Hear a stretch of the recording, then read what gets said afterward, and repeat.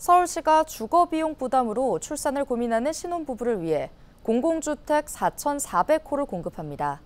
자녀를 출산하면 거주 기간도 늘려주고 두 자녀 이상 낳으면 살던 집을 시세보다 저렴하게 매수할 수도 있습니다. 김호 기자의 보도입니다. 서울시가 발표한 신혼부부 주택 확대 방안의 골자는 장기 전세 주택과 안심 주택입니다. 먼저 장기 전세 주택은 무자녀 신혼 부부는 물론 예비 부부도 입주할 수 있습니다.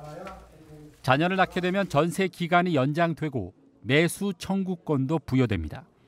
한 명을 낳으면 최장 거주 기간이 10년에서 20년으로 연장됩니다. 두 명을 낳으면 20년 후 살던 집을 시세보다 10%, 세 명을 낳으면 20% 저렴하게 매수할 수 있습니다. 소득 기준도 완화됐습니다.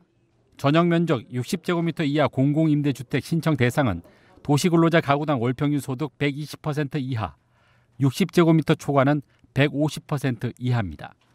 4인 가구 기준 60제곱미터 이하는 월소득 989만 원 이하이며 60제곱미터 초과는 1237만 원 이하입니다.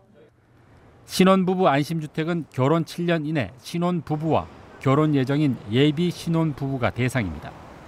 민간 임대주택은 주변 시세의 70에서 85%, 공공 임대주택은 50% 수준으로 공급됩니다. 사업성 확보를 위해 70%는 임대, 나머지 30%는 분양 주택으로 공급됩니다. 이제는 아이가 없어도 공공주택에 입주할 수 있게 됩니다. 입주 후에 자녀를 출산하면 10년을 기준으로 해서 20년까지 거주할 수 있게 되고 두 자녀 이상 출산하게 되면 내 집 마련의 기회도 생기게 됩니다. 장기 전세 주택은 오는 2026년까지 2,396호가 공급되고 신혼부부 안심주택은 2,000호가 건립됩니다. 서울시는 이후에도 매년 4,000호의 신혼부부 공급 주택을 공급해서 매년 결혼하는 신혼부부의 10%가 안심하고 아이를 낳을 수 있는 환경을 조성할 계획입니다. 헬로티비 뉴스 김호입니다.